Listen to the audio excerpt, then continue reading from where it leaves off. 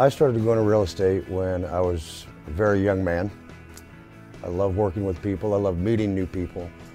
And helping them find the home of their dreams is just a thrill that uh, I can't really explain. I think one of the greatest days I had in the business, I was helping a young lady. She moved out of an apartment, moved into her own home. She spent $1,000 and she's saving about $50 a month from her old rent.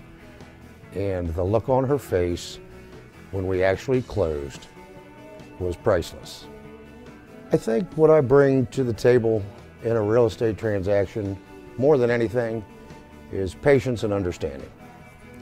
A lot of people, whether they're selling their home or buying their first home, are a little nervous, uh, a little apprehensive. They got a lot of things on their mind.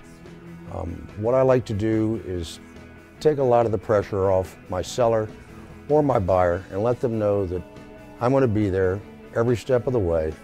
I'm going to hold their hand if need be. I'm going to go the extra mile, getting a home ready, uh, bringing people in to do things that need to be done, and try to take the worry both off the seller and off the buyer, letting them know that I'm going to be there with them from the beginning to the end and then long afterwards.